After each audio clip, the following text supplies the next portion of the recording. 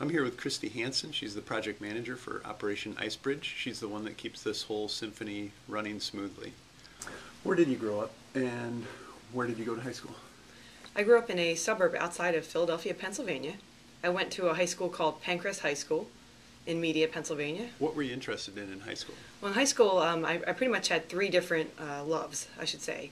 Um, I loved athletics, played sports all year long for all four years I was in school. So uh, volleyball, basketball, swimming, diving, uh, track and field, and I threw the javelin and discus and did the hurdles and track.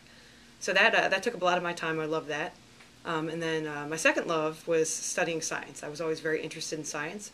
I didn't know exactly what I was going to do. Um, I always had dreams of flying in space, human space flight. I had an interest in that, but I didn't know what career I would go, so I figured I would just keep studying science and math and, and maybe see where that would take me.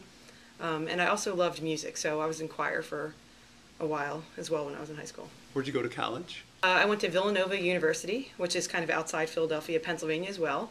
And I majored in something called comprehensive science, and I minored in physics. And what comprehensive science was, was a, a compilation of all sciences and math. So I took um, biology 1 and 2, chemistry 1 and 2, all the physics classes, and um, all the calc classes and differential equations. So I knew, again, you know, I knew science, I was interested in that, but which, you know, which field specifically. Um, so I emphasized in physics, uh, wondering where that would take me. Um, I also got a master's degree in uh, science from the University of North Dakota Space Studies program.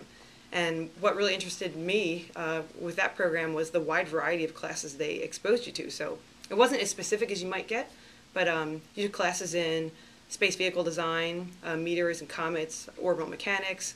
Um, they also had remote sensing classes, and then even studying military space, uh, Russian space program. Tell us about your career at NASA. So, so far at NASA, um, I'm on my, my third project. Uh, my first one started in 1999, right out of grad school. Um, I had heard of uh, a job down at Johnson Space Center in Houston, Texas, where they actually train astronauts and do flight control work. And actually, uh, during one of my classes at the University of North Dakota, one of the distance degree students who worked at Johnson had seen me on footage and thought I might be a good candidate, someone new with energy, looked very interested, um, thought maybe I, I, I, could do well down at Johnson. So uh, they interviewed me, they flew me down, and they found a position for me out of school in the extravehicular activities group. So this is if I think of my dream of dream jobs, um, if I never flew in space, this first one coming out of college was, was my favorite. So I felt like I got to use some of my physics a little bit, um, but really it was uh, a lot of uh, physics applications, but a lot of operations and organizational skills, hands-on work. So um, I ended up training astronauts on the Space Shuttle, International Space Station, and Hubble Space Telescope. So essentially, I'd get a task or assigned a flight. Hey, Christy, you're the, the EVA lead. We need you to install this port truss onto the port side of the International Space Station. You have three spacewalks to do it. You have to reconfigure some wires, uh, change out a battery. Now put that whole plan together, meaning how many nuts and bolts are there? What turns and torques do they go to? How do you train the astronaut to hold tools and work in microgra microgravity environment? How do you do that all in six and a half hours? Um, how do you plan for contingencies while you're up there? So that was my uh, main priority when I was down at Johnson. Mm -hmm. And then after you train the crew, you'd wear the headset, you'd sit in mission control, and you'd be ready for any kind of contingency or troubleshooting during the spacewalks on orbit. So our motto was plan, train, fly. You told me that you also went in the big tank there. Yeah, yeah, yeah. Tell me what that's like. Yeah, that, oh, that was pretty amazing. I, I had to get rid of that, you know, huge eye look when I first uh, showed up at work my first day, thinking, am I really going to be doing this? I can't believe it. But you don't want to admit that because you'll get made fun of, right? But I, I, really think to this day, my energy enthusiasm got me there. Um, I mean, good grades, but showing drive, showing that you'll go the extra mile, never letting anyone stop you. So uh, I remember the first day I found out I'd have to get scuba certified um, because the class you would train the astronauts in would be when they're learning new objectives, when you have to teach them a new task. They want you to get under on scuba in the neutral buoyancy tank, which is a 40 foot, 6.2 million gallon tank of water, where they had full scale mock ups of the space shuttle um, and the International Space Station.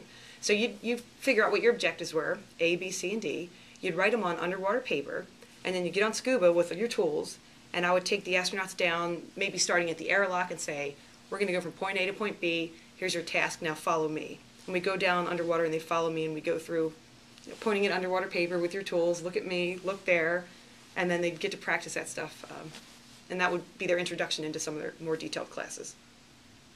And where'd you go from Houston then? Yeah, so I did that for 10 and a half years. So I loved it. I mean, it was really hands on. I liked playing with hardware. It was really good responsibility, especially for someone coming out of school. Um, if you like teaching, I mean, this is, I had no idea I was going to be a teacher, but essentially suddenly I became a teacher of astronauts. Anyway, so after that, I thought, how can I grow, maybe expand a little bit what more is out there? So um, I had heard at uh, Goddard Space Flight Center in central Maryland that they were working on trying to get a new payload to the International Space Station. And they have a lot of really good uh, tool design engineers, um, hardware people, but they didn't have anyone with true space station operations experience. And I had known some of them from working on Hubble, so they knew me. And they knew I was looking around. So as soon as they knew, they said, We need an operations lead. Can you come up here and help us put our plan together? So, like that, I, I found the job. I, it was hard to leave all my friends at Johnson, they're still my best friends. Um, moved up to Goddard Space Flight Center and set up camp there for a year and a half as the operations manager for the, it was called the Robotic Refueling Payload. Um, so someday the idea would be instead of launching new communication satellites or new weather satellites, maybe someday we could rendezvous with a, a broken satellite and actually fix it using robotics. So the space station portion was just a technology demonstration. Let's put this cubicle washing machine on space station, and um, let's use uh, let's let's demonstrate some of these tools we designed, and and show that maybe someday we could fix things that look like a satellite. So I had to put that plan together. Let's test out these tools. Let's get procedures together. How do we follow the rules and constraints of space station? How do we build robotics procedures? And we do it all in the right order, in the right time, following all the correct rules. And now you're with Operation Icebridge. That's right. So um, I, I helped the RRM, Robotic Refueling Mission, get off the ground, run through their first operations, and then thought, you know, what else is going on at Goddard? And I started looking around, and I found this project called Operation Icebridge, and I was like, what is that? And as soon as I heard ice in it, and I, I looked at the website, I thought airplanes and ice. And that, even though I'd never st- truly studied glaciology or ice, I'd done some mountaineering, and I was fascinated by it.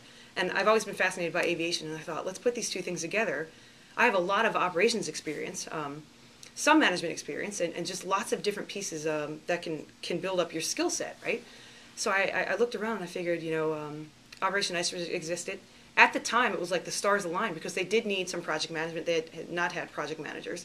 And I thought, hey, that's a big, that's a bigger step for me to go into a higher level position of managing a project and people. So I thought it'd be interesting to try. So we, it was a perfect fit. Um, they needed someone to come in and help with that. So that's kind of what got me onto Operation Icebridge. What are the best parts of your job? So I think the, the best parts of Icebridge are you just look at it and you're like, what do you do? You're flying at 1,500 feet. This is what I read on the website 1,500 feet collecting geophysical data on the changing uh, sea ice, glaciers, and ice sheets of Antarctica and Greenland. And as soon as I heard that, I thought, what an important thing to do, right? Um, so, and I have an adventurous side and I love to explore. So I thought, you know, how can I put all this together? So what I really like is seeing here's your task go to Greenland, collect this data, work with all the teams months in advance to plan it, go into the field and execute it, and then report about it and make sure you're meeting all your requirements. Mm.